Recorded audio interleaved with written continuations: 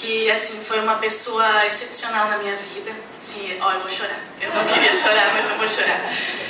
Que assim, a gente briga, a gente tem os nossos arranca-rabos, como eu digo, mas ela foi uma pessoa assim que não desistiu de mim. E olha que foram poucas as pessoas.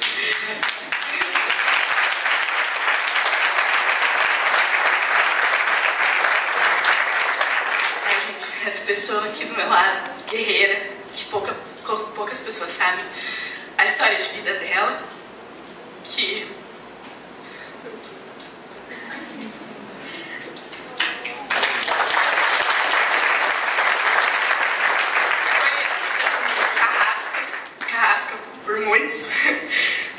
pela sua maneira de trabalho, mas se não fosse assim, acredito que não traria resultado nenhum. Que foi ela que ficou, depois de que eu fiz a cirurgia, que eu fiquei em cima de uma cama, a hora que o médico falou assim: você não mexe um braço, senão você pode perder sua vida. Foi ela que ficou comigo, me apoiou quando eu queria desistir. Todos os momentos, ela falava, não, Angélica, você ainda tem. Eu olhava pra ela e falava, não, Anitta, não tem mais, eu não vou mais conseguir. Eu não sou mais uma boa ginasta.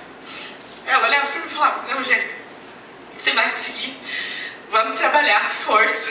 Eu sentava no canto do tapete e falava, não mais treinar, levanta daí, você vai treinar. Vamos, levanta daí, sou preguiçosa, pode treinar. Abracei muito, pedi muito o abraço dela. Agradeço muito a Deus por ter ela, ter ela na minha vida. E se não fosse por ela, não, não teria a ginástica aqui em Toledo, não teria essa estrutura maravilhosa, essa parceria, porque quem foi que começou, quem foi que lutou foi ela. Obrigada,